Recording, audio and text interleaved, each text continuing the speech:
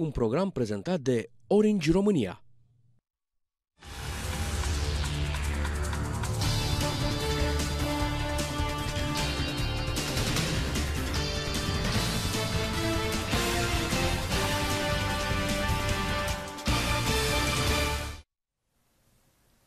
Salut, sunteți la ZF la St. Cristian Hociu și haideți să vedem ce avem astăzi.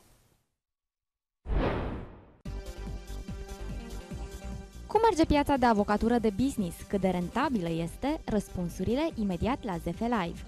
De ce cred supermarketurile că legea prin care sunt obligate să vândă 51% produse românești nu este bună? Aflați în câteva minute.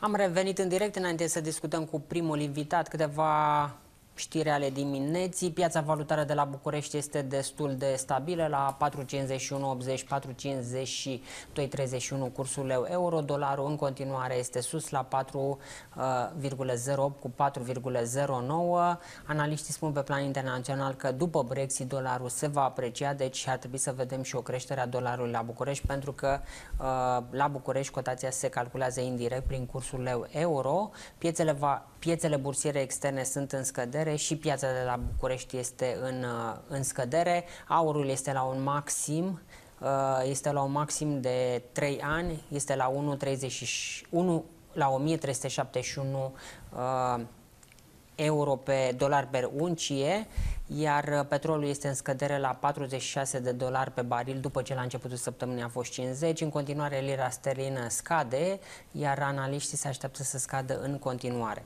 Bun, revenim la primul uh, invitat, Gabriel Zbârcea, managing partner la Țuca Zbârcea și asociații, uh, principala firmă de avocatură din România. Mai sunteți pe primul loc? Salut, Gabi! Salut, Cristi! E bucurie să mă aflu aici alături de tine, ca deci. de fiecare dată. Uh, topurile sunt, sunt relative. Acum, după ce ați uh, voi, ați spus, domnule, să nu mai publicați cifre, deci nimeni nu mai știe pe unde se află, cel puțin oficial. Dar știi cum se zice? Uh, trebuie să fii sub radar acum. Uh, sub radar, Sub radar, toată lumea este sub radar. Uh, pentru că în România, fiind, uh, avea succes, a fost uh, tot timpul uh, uh, considerat ca fiind uh, ceva negativ. Uh, cel puțin în ultimii ani. Nu ne-am uitat la modelele de, de, de succes și n-am avut, uh, nu ne-am făcut repere din, uh, din modelele de succes. Nu știu, suntem, suntem acolo, între vârfurile pieței de avocatură, avem în continuare un număr important de avocați și un portofoliu important de clienți. Cum merge piața acum? Toată lumea se plânge, da, cel avocații care vorbesc, dumneavoastră, toată lumea reduceri de costuri, asta înseamnă reduceri de tarife, clienții sunt clienți care pe anumite spețe, ceea ce externalizau înainte către firmele de avocatare, acum preferă să facă intern și doar în cazuri excepționale să se ducă de la firme de avocatură. Este o piață extrem de aglomerată da, întotdeauna într-un an electoral nu o să meargă piața avocaturii pentru că sunt foarte puține proiecte. Uh, în principiu, uh, guvernanții, uh, mai ales în anul acesta, și fiind și un, și un, și un guvern interimar, administrează, nu dau drumul la, la proiecte. Nu sunt proiecte foarte importante de, de partea statului, motiv pentru care nici investitori privați foarte mulți care să vină în acest, în acest cadru. Probabil că toată lumea așteaptă alegerile din toamnă și ce va, se va întâmpla în anul viitor. Proiectele noastre importante au, fost, au venit din, din zona privată.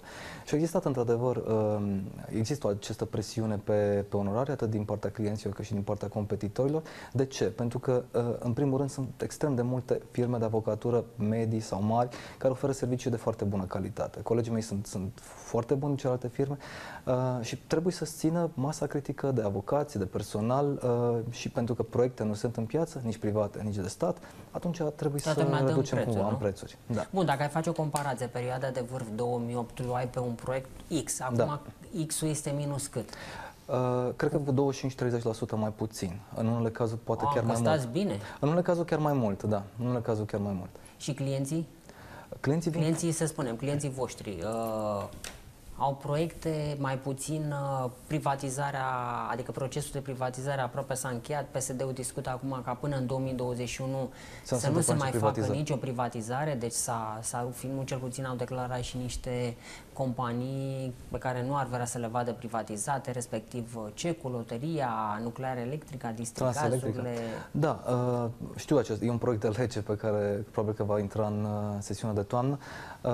Așa cum spuneam, proiectele noastre au venit foarte mult mult din, din zona privată, aproape în exclusivitate din zona privată.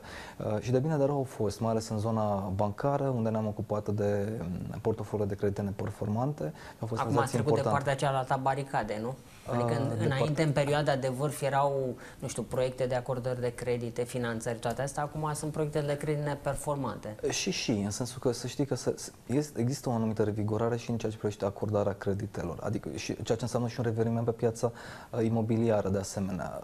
Mi s-a părut că au început să se miște niște lucruri. Sunt anumite proiecte în curs și pe zona de imobiliar și pe zona acordării creditelor, dar într-adevăr, principalele noastre proiecte au fost legate de portofoliul de credite neperformante. Deci în ultimii doi ani, deci voi v-ați ocupat de partea juridică a ce portofoliu în valoare? Păi, Câte au fost? Uh, 900, cred că vreo 2 miliarde, dacă nu mai, cred, că, cred că mai bine, pentru că a fost 1 miliard 100 ultimul proiect pe care voi l-ați declarat, okay. cea mai importantă tranzacție bancară a anului. Okay. Mai fost de asemenea portofoliu AFC și Cruc, cei care au cumpărat de la Bank Post și am impresia că portofoliul okay. era de, de 600 milioane. Doar să-ți dau uh, două exemple. Uh, am reprezentat de asemenea uh, Nexte Bank în achiziția Carpatica. Deci piața bancară se, se mișcă, nu neapărat în uh, cea mai mult în zona pozitivă, respectiv finanțări, tranzacții, achiziții, ci în partea aia de curățare a portofoliului. Dar și asta e o zonă pozitivă. Eu văd tot, până la urmă se va întâmpla ceva și cu ele, cu acele Ce? portofolii. Ce se va întâmpla? Adică, bun, au plecat dintr-un portofoliu la băncilor, s-au adus către, anumite, către firme de recuperare și mai departe, câte din acele business-uri revin pe piață?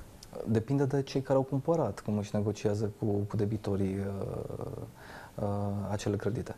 Bun, dar aici la, uh, la MPL-uri, cum se spune, care sunt principale probleme în care, nu știu, nu, nu sunt actele în regulă la toată lumea, nu sunt contractele standardizate, așa, din istoricul vostru? Uh, de ce se vând sau de ce... Nu, nu de ce se vând, adică, spre exemplu, care sunt problemele juridice care v-ați confruntat?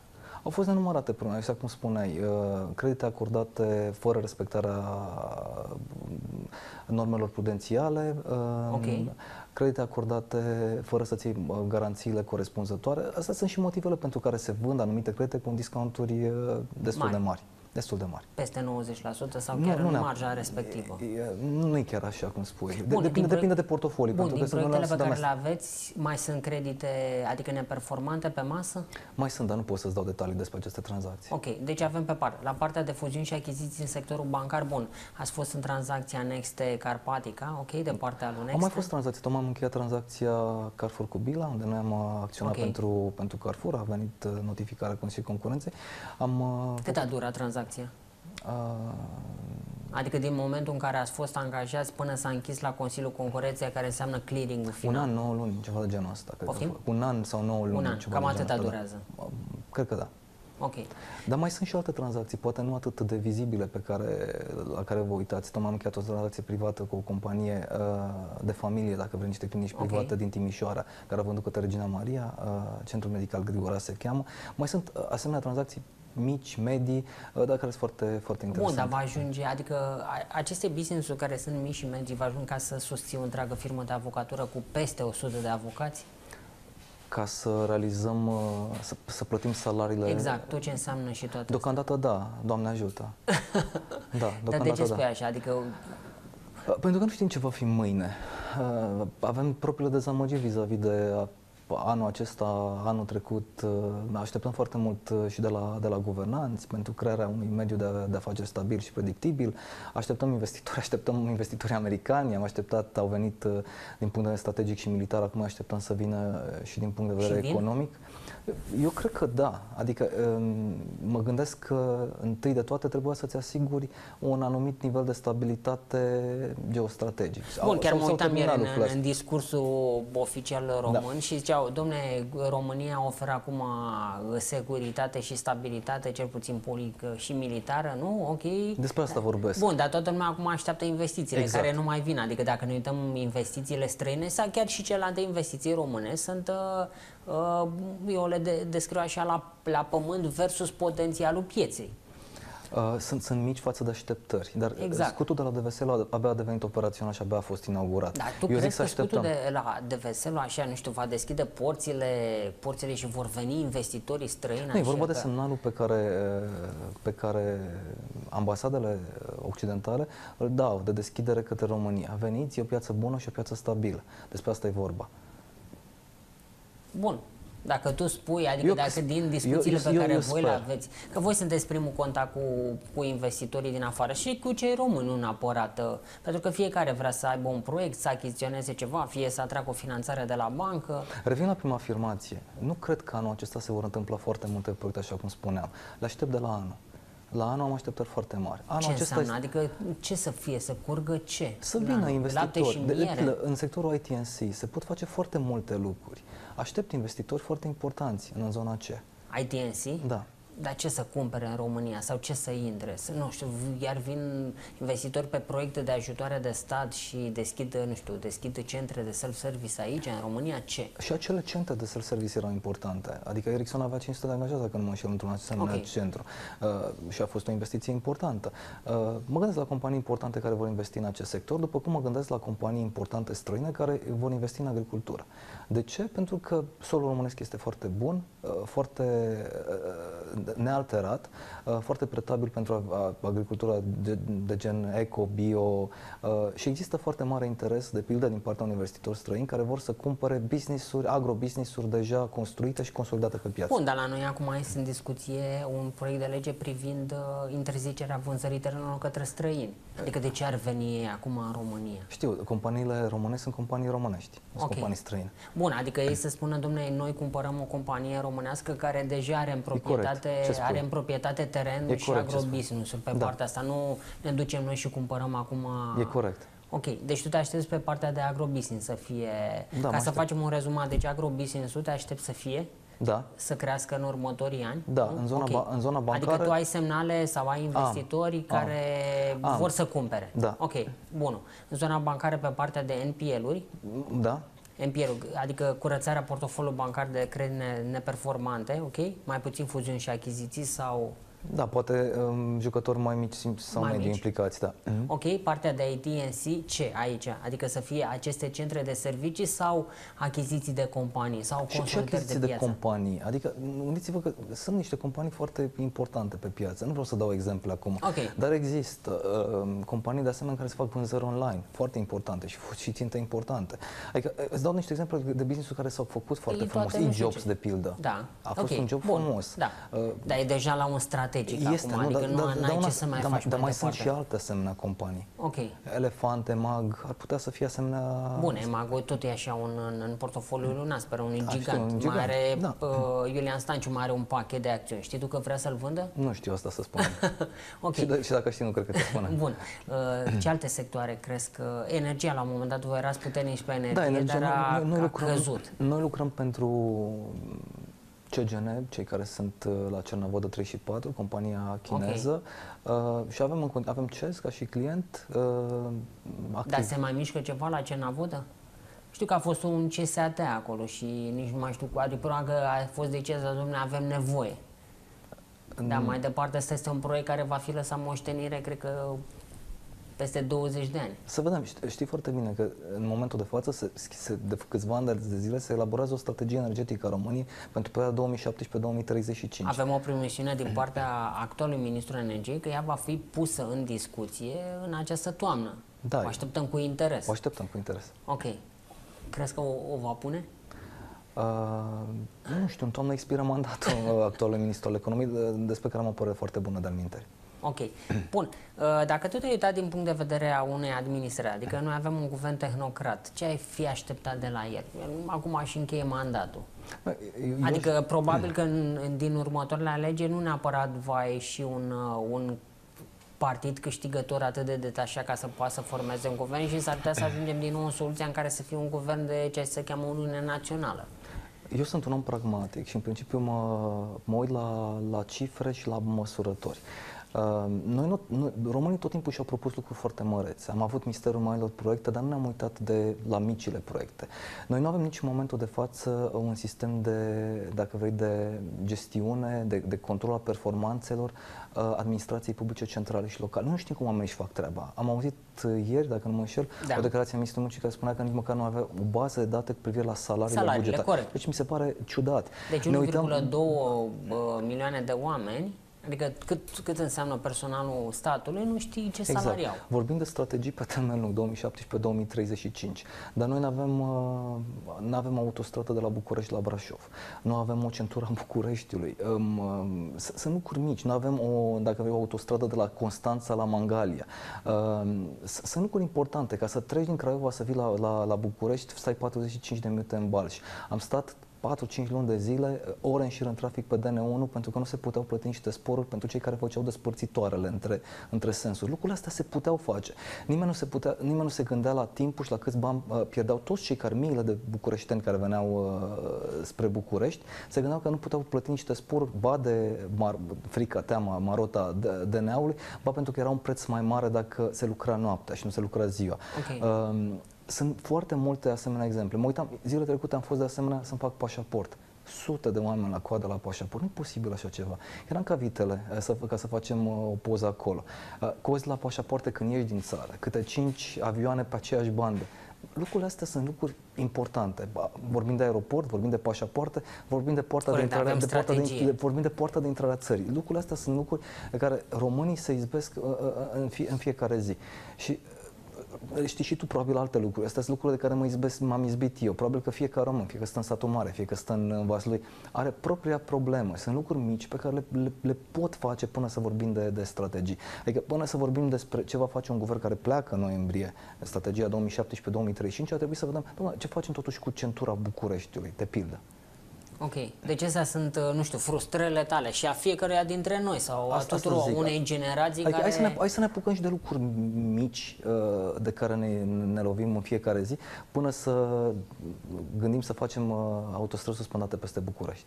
Bun, uh, pe o piață atât de aglomerată de avocatură, mai este rentabil să fii avocat de business? Adică uite-te puțin la cei care termină acum, în continuare, dreptul, toată lumea visează la drept, toată lumea visează, uh, nu știu, să ajungă avocat important, să curgă banii.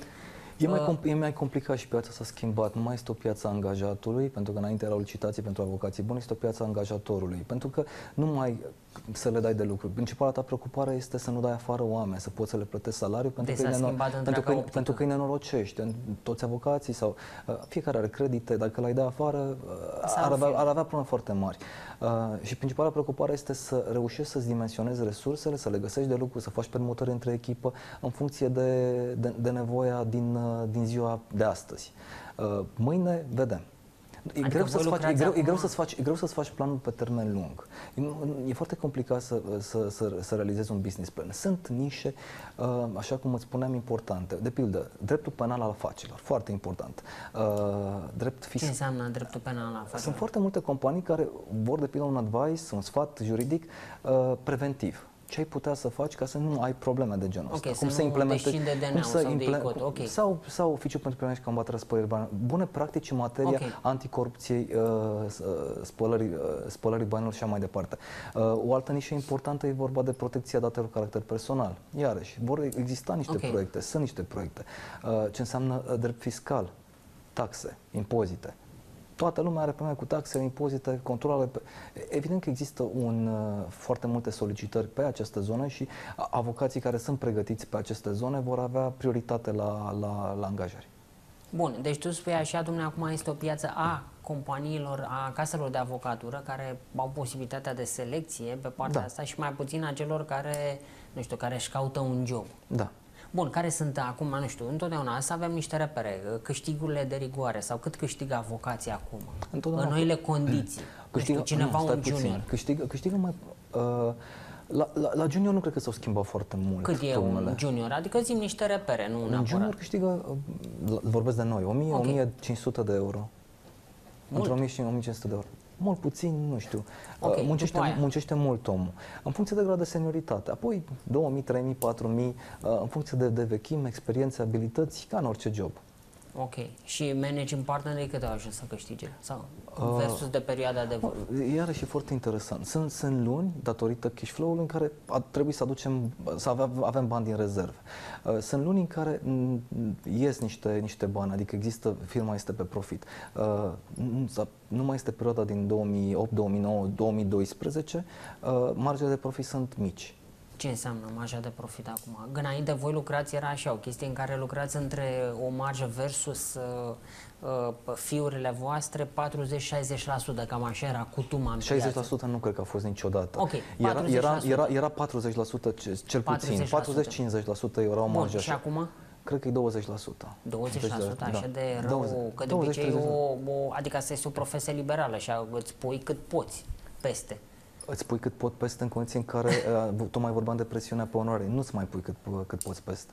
Ok, pe piață, în aceste condiții de presiune constantă, o presiune care va continua, deci suntem, uh, va fi o presiune foarte mare.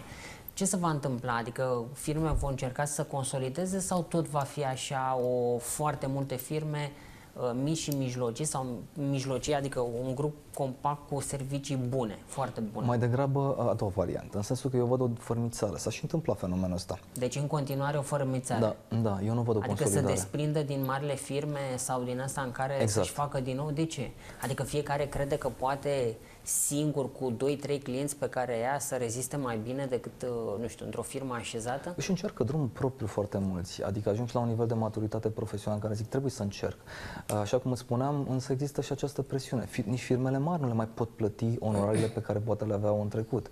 Adică există poate modificări de onorarii. Dacă nu îi dai afară, poate spui trebuie să ajustezi onorariile în funcție de noile marge de pro- profit, de noile Dacă sunt realități onorariile economice. acum, cam pe unde se situează? La ce te referi? Onorariile nu legate știu, de clienți? onorari, da, către voi, adică cât, uh, de la cât începe și până unde vă duceți. Nu știu, de la 40 de euro pe oră până la, nu știu, 200, 300, cât? Sunt mai mari de atât. Nu, nu, nu mai mari de 200-300, mai mari de 40 de euro pe oră. 40 de Dar euro iarăși depinde, începeți. pentru că atunci când ai un dosar, poți să ai un onorariu pe dosar. Ai venit, ți-a plătit un dosar. Îți faci o evaluare, nu-ți, nu-l plătești neapărat pe oră. Și sunt foarte multe dosare pe care le avem Da? de gestionat. Cam pe unde? At- Adică cum se taxează aici? Nu știu, din suma implicată? Dar iarăși nu, nu e așa, că nu sunt, de foarte, mu- de foarte multe ori nu e vorba neapărat de o chestiune patrimonială. Poți să ai și un divorț, să spunem. Până la urmă, cum îl taxezi? Cum îl evaluezi? Dar voi vă ocupați de divorțuri? Da, normal, și de divorțuri, Da? evident, dar nu e nicio Wow. rușine. Dar nu văd nicio rușine în asta, din potrivă.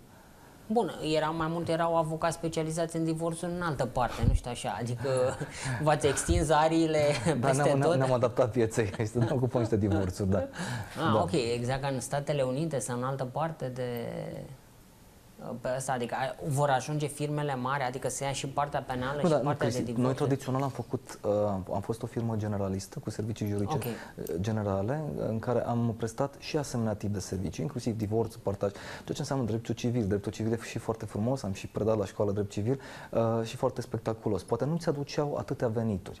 Uh, deși unele dosare și de divorț și de sunt foarte interesante și chiar bănoase. Adică, și nu ar trebui să ne socotim această practică care e însemnată. Încredițări copii, uh, divorț, e important. Bun, aia e altă treabă, na, e o problemă Nu, nu uita că noi, dureroasă, noi avem nu- 40-45 de avocați care fac numai litigi.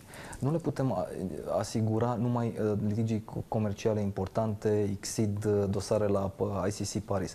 S- În viața Da. de zi cu zi ne întâlnim mai ales, mai degrabă, cu asemenea pro- Probleme, procese. Uh, Pretenții, uh, rezilieri contracte și asemenea tip de, Bun. de chestiuni de Dar dreptul exit familiei. ce aveți acum? Că voi erați avocații celor de la Roșia Montana, Gold Corporation, La- îi reprezentați la... Da, noi, noi am reprezentat uh, compania Gold Corporation și Roșia Montana în procesul de a, a realiza proiectul. În momentul de față noi avem un rol secundar în acest proiect uh, la Exceed.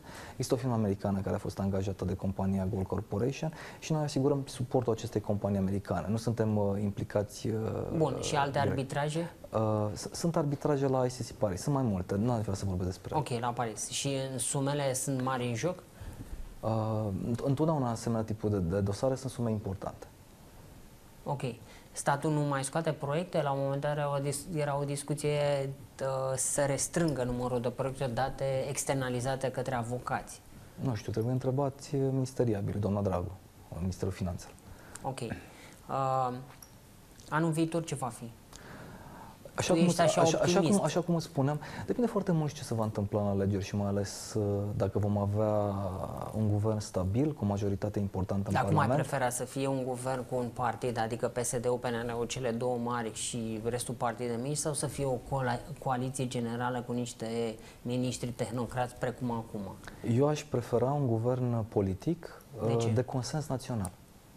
O, De ce? Asta înseamnă, adică e un amalgam, așa, guvern politic de consens național. Da, a, spun, spun care e preferința mea. De ce? Pentru că uh, doar în măsura în care ai un asemenea guvern care are o majoritate importantă în Parlament, poți să-ți iei niște măsuri uh, importante și radicale pentru țară. Altfel eziți să le iei. Adică nu vei lua nimic, Nu adică vei- totul nu- nu va vei fi face. o băltire cum este acum, adică fiecare Ăsta e încearcă riscul să-și, fo- pa- ăsta e să-și riscul foarte mare. paseze Ăsta e riscul uh, foarte mare. proiectele, nu? Da. și- și deciziile gânde- gândește-te, următorului gândește-te guvern. că sunt doi ani importanți. Sunt doi ani extrem de importanți pentru România. De ce? Pentru că în primii doi ani după alegeri se pot face lucruri importante care să afecteze în pozitiv societatea românească, pentru că după aceea iarăși vom intra în cicluri electorale, alegeri locale, uh, alegeri legislative și prezidențiale. Deci ăștia doi ani sunt importanti și numai atâta, totuși, în uh, 2018 sărbăm și noi o, 100 de 100 de ani, ani de la fără Unire. Ar, trebui- ar, autostradă, nu? ar, trebui- ar trebui să facem ceva, adică să ieșim și noi uh, Cu cumva, ce? cu ceva, Cristi. Zice. Ți-am spus, ți-am dat... Păi știu, dar nu ți-am se spus poate, așa. adică nu putem Eu face ți-am în spus- 2 eu ani de zile o autostradă Auzi, așa dar, pe dar, care dar n-am centura făcut-o. Bucureștiului poți să o faci. Adică să continui autostrada de la Constanța la Mangalia, poți să o faci. Îți dau, ți-am zis, să-ți dau niște exemple care, care îmi vin la îndemână. Să faci ceva cu aeroportul, să arate mai bine atunci când vin străinii să uită la tine. Adică poți să faci niște lucruri de genul ăsta. Nu cred că îți trebuie 2 ani pentru toate lucrurile astea. Bun, acum în business e uh, reacția DICO, DNA pe tot în asta și voi sunteți implicați în proces, adică unul din partenerii voștri în dosarul retrocederilor prințului Paul v-a afectat în business? Noi nu suntem implicați în, proiect, în, în procesul Ok. ăsta. E vorba despre un coleg al nostru uh, căruia îi se impută că în perioada 2006-2007 a făcut activități de avocat. Uh, În loc, Robert Roșu, uh, în momentul de față, este liber. Doi judecători au spus că nici măcar Ok. controlul judiciar n-ar trebui să se ia împotriva lui.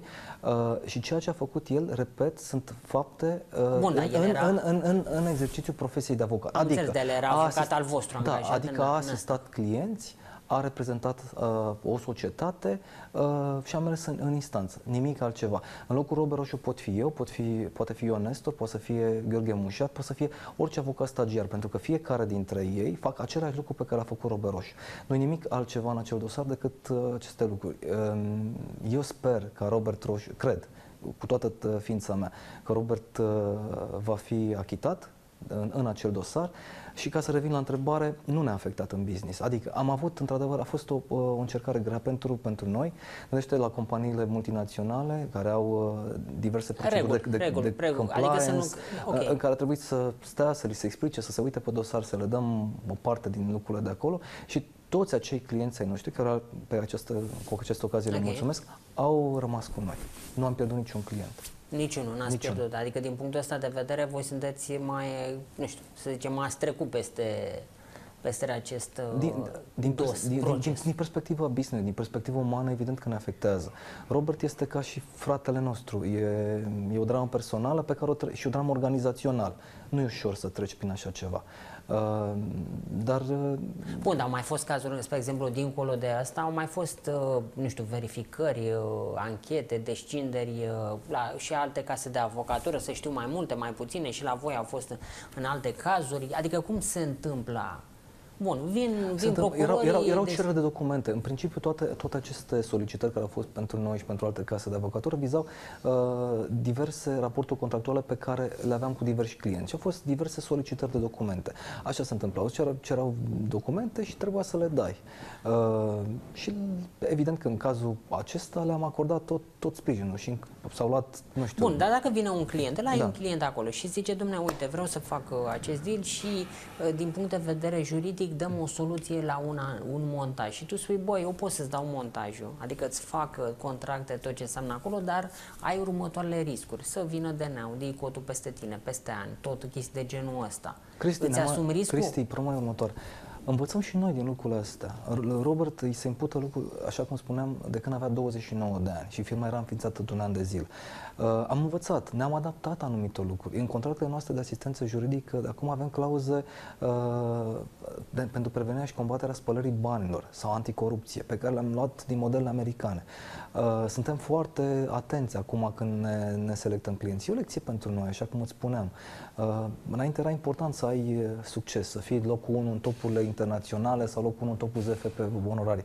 Acum nu știu dacă lucrul ăsta este, așa cum spuneam, văzut uh, foarte bine. Ne-am adaptat anumitor realități și ne vom adapta în continuare. Nu, bun, suntem, suntem, mea... suntem mult mai atenți. Bun, suntem mult mai atenți mea, până unde merge consilierea unui avocat, ok, pentru un client și unde puteți să spuneți, băi, gata, eu pe baza unui trecut, nu pe baza unui cutume, ceea ce se întâmplă în piață, n-aș vrea ca peste 10 ani să se deschidă un dosar, adică să, să iasă afacerea la iveală și eu să... Ți-am răspuns la întrebarea asta cumva, în sensul că în momentul ăsta ne uităm foarte atent la client, ne uităm foarte atent la spețele care ne vin. Mulți clienți i-am refuzat, Uh, altora le-am dat uh, un advice corespunzător, un sfat corespunzător, spune că există riscul ca cineva să interpreteze uh, altfel uh, o anumită situație juridică uh, și, și mergem mai departe. Bun, dar sunt cazuri acolo pentru clienți. Vin clienții acum și zice, băi, nu știu, nu mă simt confortabil față de anii anteriori, uitându-mă, văzând la televizor, uitându-mă în preță pentru anumite spețe. Da. Uh, e mai bine să mă duc să mă predau la DNA Dico și să spun tot acum și să scap, nu știu, doar cu o amendă sau pur și simplu aștept să se întâmple sau nu să se întâmple un eveniment? Am avut una sau două situații de genul ăsta, nu pot să spun ce advice am dat. Ok. Deci ai avut situații da. în care oamenii au venit în spate și au zis... Nu, au zis să ne uităm dacă sunt asemenea consecințe, dacă sunt probleme de genul ăsta. Am avut două asemenea situații. Bun, dar clienții acum ce fac? Adică sunt, uh, nu știu, nu neapărat, sunt neconfortabili cu ceea ce se întâmplă... Depinde de fiecare. Adică se adică... blochează proiecte... Sunt proiecte blocate, evident. Blocate, blocate. Sunt proiecte blocate de teamă, de frică, de ceea ce americanii numesc chill effect. Adică există ceea ce se întâmplă și în administrație. Mulți nu semnează nimic de teamă sau, sau, ce, sau ce puțin un pretext pentru ei de a nu face nimic, să, să joace solitar în continuare. Uh, dar sunt și clienți privați care spun stai să treacă, stai să vedem ce se mai întâmplă, stai să crească prețul afacerii, stai să vină un guvern nou. Uh, se întâmplă lucrurile astea, da. Ok, bine. Gabi, mulțumesc frumos. O discuție interesantă uh, despre piața de avocatură și tot ce se întâmplă astăzi pe această piață și în economie. Uh, luăm minutul ZF și ne întoarcem în partea a doua. Discutăm despre uh, proiectul Ministerului Agriculturii ca 51% din uh, ca uh, supermarketurile să aibă 51% din produse românești. Haideți să vedem uh, uh, ce spun Asociația Supermarketurilor.